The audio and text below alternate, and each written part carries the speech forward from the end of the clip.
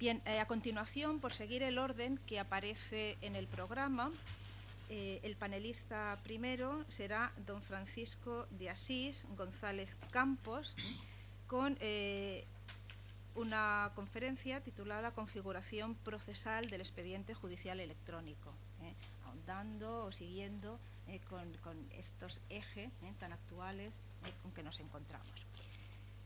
Bien,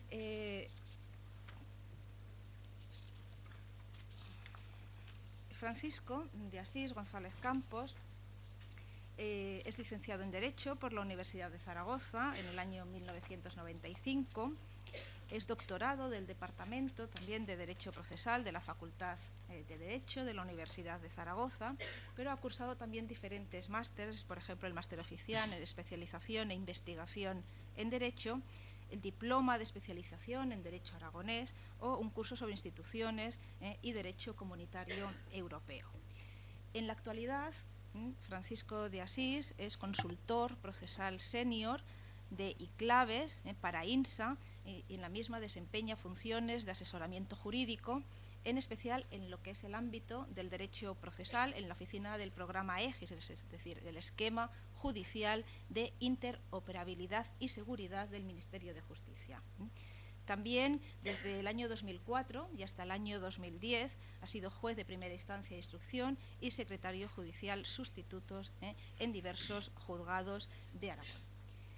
Bien, como les digo, ¿eh? Eh, nos va a hablar a continuación del expediente judicial electrónico. Cuando quieras, Francisco. Buenos días.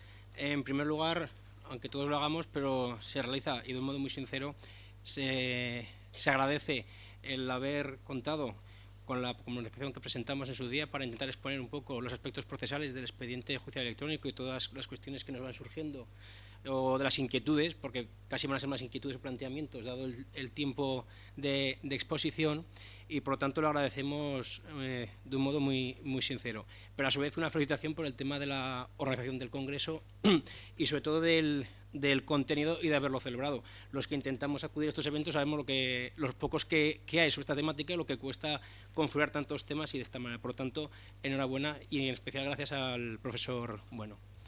En cuanto a la ponencia que voy a eh, presentar, el índice se compone mm, preferentemente de una introducción y objeto donde eh, estableceremos los objetivos que pretendemos desarrollar y luego los dos aspectos puntuales de lo que consideramos es el contenido procesal que se deriva del expediente judicial electrónico, pero que lo queremos englobar en una visión, una perspectiva más amplia. La administración judicial electrónica, en definitiva, es derecho procesal y tiene que existir un derecho procesal electrónico que regule todas estas cuestiones porque eh, el marco jurídico actual, siendo suficiente, sin embargo, tiene ciertas eh, limitaciones. Una de las eh, ventajas de que anteriormente expongan parte de la materia y nada más y nada menos que por el Secretario de Gobierno de la Universidad Nacional, donde se ha implantado el expediente judicial electrónico, es que muchas de las cosas no las voy a repetir porque las diría seguramente peor. Y por lo tanto me centraré en los aspectos que, más me pueden interesar desde un punto de vista procesal. En cuanto a la cuestión, es, inevitable que la incidencia de las TICs en el proceso de modernización en el hecho de la tutela judicial efectiva es, obvio, no hay más que decir en esta cuestión.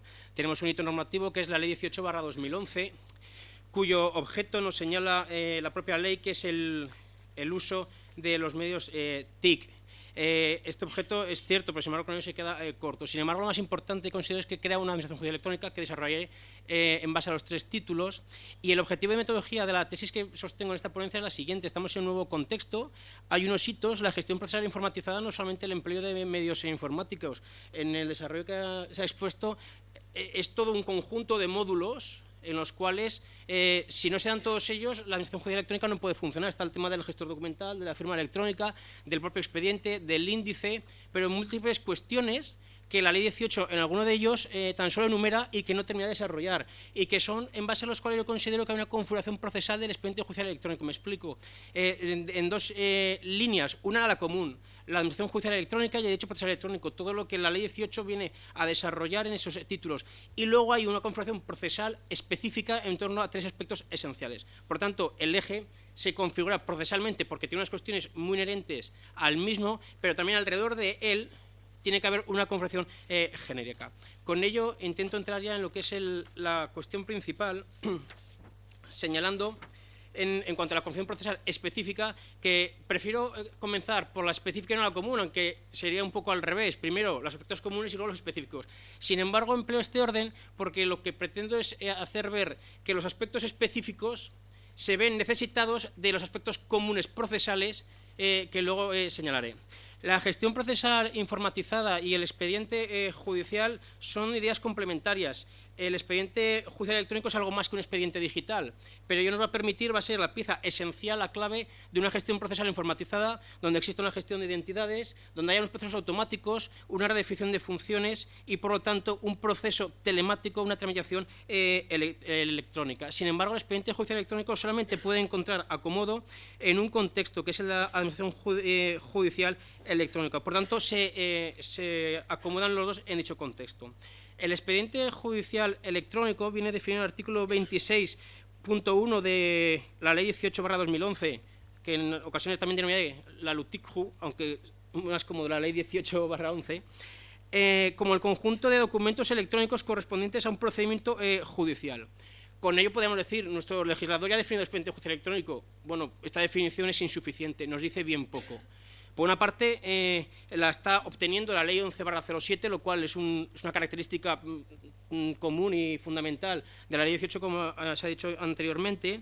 Eh, utiliza el concepto de documento electrónico, cuando luego realmente la base es el documento judicial electrónico, y luego el documento también viene definido en los anexos definitorios de la, propia Ley 18. Sin embargo, es un concepto insuficiente. El eje tiene unas ventajas eh, eh, indubitadas. Sin embargo, la ley 18 no indica cómo se va a tramitar el mismo, cómo se va a desarrollar. Eso requiere un desarrollo eh, informático, pero sobre todo también jurídico, para determinar las bases en base a las cuales se va a, tramitar, porque de lo contrario, si no, la construcción de la tramitación y del derecho quedaría en manos de las aplicaciones informáticas. Por eso, al final, hablo de la arquitectura del, del, modelo. Evidentemente, hay cuestiones que se tienen que desarrollar. El expediente judicial electrónico tendrá unos metadatos para toda esta gestión el código de barras del archivo, allí en electrónico el, mundo eh, es distinto, ya no es como en el mundo tradicional, el soporte tradicional. Por lo tanto, la definición del expediente judicial electrónico es insuficiente. Tenemos que acudir también a la del documento judicial electrónico que viene en el artículo 27 de la Ley 18 y que nos indica eh, literalmente como tal que tendrán la consideración de documentos judiciales electrónicos las resoluciones y actuaciones que se generen en los sistemas de gestión procesal, así como toda información que tenga acceso de otra forma al expediente, cuando incorporen datos firmados electrónicamente. Surge, por tanto, una categoría hasta ahora desconocida en nuestro ordenamiento procesal, cuál es la de los documentos judicial electrónico, que va a dar eh, existencia o sustento al expediente judicial electrónico y cuya creación deviene bajo una doble perspectiva y que considero bastante relevante. En primer lugar, será documento judicial electrónico toda resolución y actuación procesal en tanto que no cabe dar otro significado al inciso que dice generado por los sistemas de gestión procesal. Por lo tanto, sean las, resoluciones tradicionales, pero también otras actuaciones procesales que se puedan dar en el mismo. Pero en segundo lugar, también hay que tener en cuenta que sea documento judicial electrónico, todo aquel documento incorporado la ley dice información que tenga acceso siempre y cuando esté firmado electrónicamente. Por lo tanto, aquí, y una de las ventajas no tener que que explicarlo todo el proceso de entrada y demás que se ha indicado, pero que es fundamental todo el tema de la digitalización, de la conversión de los documentos, en definitiva, de, lo de, la, electronificación del documento eh, o del acto porque eh, una de las conclusiones que obtenemos es la cuestión de que el expediente judicial electrónico, sobre todo es judicial, pero también es electrónico. No puede existir una cohabitación híbrida entre distintos eh, soportes documentales, lo cual no quiere decir que todo sea electronificado. Ya veremos posteriormente cómo se pueden hacer o tratar estas cuestiones. Un segundo concepto que considero fundamental en este, en este sentido es el de desarrollar la tipología de los documentos judiciales electrónicos y cómo se incorporan los mismos, porque tenemos algunas cuestiones bastante dudosas. Por ejemplo, la cuestión de cuándo se configuran las copias auténticas, que regula el artículo 28, eh, eh, así como, eh, por lo tanto, la, la, cuestión principal es la del valor jurídico del documento judicial electrónico, su creación, la conversión, su traslado y la itineración. Eh, existen distintos eh, supuestos que pueden afectar a garantías procesales, pero que por la cuestión material no me da tiempo de entrar en, ello. Sin embargo, sí que me interesa hablar de otro punto importantísimo, la configuración procesal en la específica del expediente judicial electrónico, y es el índice electrónico que viene eh, mm, recogido en el artículo 26.3 de la Ley 18. Lo considero uno de los aspectos esenciales de esta administración judicial electrónica, porque en el mundo tradicional, el soporte tradicional es el papel, y tenemos el folio de las actuaciones, como la dación de cuenta y, en definitiva, el ejercicio de la fe pública.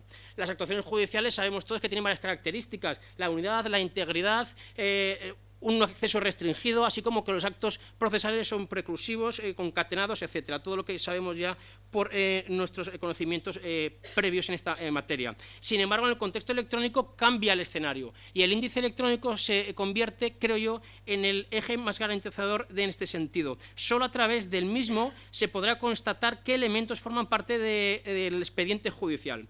Queda definido este índice en el artículo 26.3 de un modo indirecto, porque dice que el foliado de los expedientes judiciales judiciales electrónicos se llevará a cabo mediante un índice electrónico firmado por la oficina judicial actuante, y esto es muy importante en cuanto a lo que hablaré luego sobre los supuestos de la firma electrónica 19 y siguientes de la ley 18, y continúa el artículo 26 indicando que este índice garantizará la integridad del expediente judicial electrónico y permitirá su recuperación siempre que sea preciso, siendo admisible que un mismo documento forme parte de distintos expedientes judiciales electrónicos. Por lo tanto, este índice tiene unos aspectos esenciales y que tienen que ser objeto de estudio y de regulación. ¿Quién autoriza la confección de del expediente, cómo se compatibiliza eso con una configuración diseñada informáticamente, o dos, cómo se configura o se concilia con la actuación judicial automatizada cómo se garantiza esta integridad, en especial cómo se genera el índice solamente a la finalización de las actuaciones, cuando se va a dar traslado del expediente en algún tipo de inhibición eh, o otro tipo de itineración o en cada momento en que se va tramitando. Son cuestiones que, tienen que quedar reguladas porque la,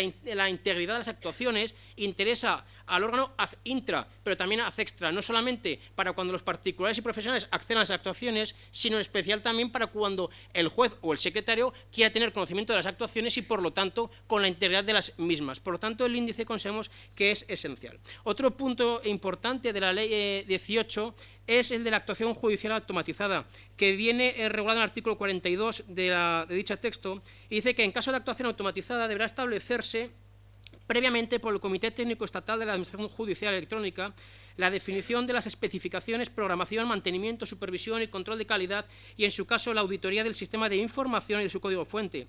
Los sistemas incluirán los indicadores de gestión que se establezcan por la Comisión Nacional de Estadística Judicial y el Comité Técnico de la Administración Judicial Electrónica.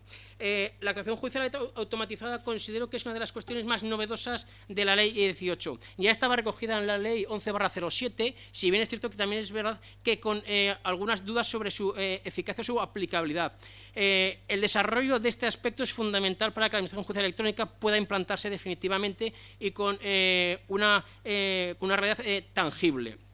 En este sentido, eh, no vamos a entrar en las cuestiones jurídicas más profundas, porque se debatió en su día por la doctrina si esto era conciliable con la actividad del órgano eh, o no, etcétera. Nos, interesa eh, señalar que la actuación judicial automatizada es posible en nuestro expediente judicial, pero con los requisitos que señala, principalmente el de la creación con la resolución administrativa, el de la firma mediante el sello en los supuestos del artículo 19 y 20 siguientes de la ley 18. Por lo tanto, nos tenemos que plantear que este modelo, ¿quién lo va a configurar? Consideramos, según indicamos al final de los mismos, que son competencias concurrentes. El Consejo General del Poder Judicial, el Comité Técnico Estatal de Administración Judicial, previsto en el artículo 44, así como también el Secretario General de Administración de Justicia, a través de distintas instrucciones y circulares. Todo ello va a ir configurando procesalmente el expediente judicial electrónico y, por lo tanto, la Administración eh, Judicial Electrónica. En cuanto a la configuración procesal común, tan solo voy a indicar las ideas que lleva eh, en, esta cuestión y es la siguiente. En primer lugar, eh, aquí tenía que venir una tabla de concordancias entre los preceptos procesales tradicionales y los que la Ley 18 recoge. Pero sí que considero que existen unos principios de este derecho procesal electrónico, un derecho procesal, digamos que orgánico, porque coge aspectos institucionales, como es el marco competencial, la normativa propia sobre los sistemas informáticos eh, y unos aspectos funcionales. Va a haber que crear las sedes judiciales electrónicas y un desarrollo normativo técnico a través de las correspondientes eh, guías. En los artículos 19 y siguientes se recogen los sistemas de identificación y autenticación y aquí es importante el tema de la firma del sello de órgano, porque va a ser muy importante junto con lo que indicamos de la actuación judicial automatizada. Es posible, pero requiere unas garantías jurídicas, cuáles las de la creación, la responsabilidad de la misma, en qué supuestos procesales se va a poder utilizar dicha firma de sello de eh, órgano. Por supuesto, existe un derecho, digamos, procedimental, el contenido más tradicional del derecho procesal electrónico, donde aquí eh, establezco los principales supuestos y al lado la tabla Word, que si hubiera sido compatible con mi PPT hubiera introducido, nos hubiera puesto las concordancias con la ley 18 en un formato más eh, legible. Por todo ello, eh, considero que existen una serie eh, de cuestiones eh, centrales o de eh, conclusiones. La efectiva administración judicial electrónica conlleva una implementación jurídico-técnica. El expediente judicial electrónico es pieza esencial del proceso de modernización, pero también de la implantación de la nueva función judicial, de unas pautas metodológicas más modernas del trabajo meramente administrativo, evidentemente procesal, pero el más protocolizable. no obstante, el eje trasciende al mismo, no es un fin, sino que es el instrumento principal. Con ello, el título de la ponencia que señalaba empieza en el expediente judicial electrónico y finaliza en el derecho procesal electrónico, pues a lo largo del mismo ha quedado patente la concepción procesal eh, del expediente y la necesidad de un desarrollo normativo con diverso rango que permita una conciliación entre las distintas eh, garantías en transición judicial electrónica y la función eh, judicial de un modo más eficaz, racional y de calidad. Y por lo tanto considero que existe una configuración procesal del expediente tanto común y específica que permite observar una hacia un derecho procesal electrónico que va a tener que crearse con distintos rangos normativos, pero que de una manera u otra va a tener que desarrollarse. Y con todo ello eh, termino mi exposición, disculpándome por los últimos momentos más acelerados y quedo a su disposición para cualquier tipo de duda o, o cuestión que quieran realizar. Muchas gracias.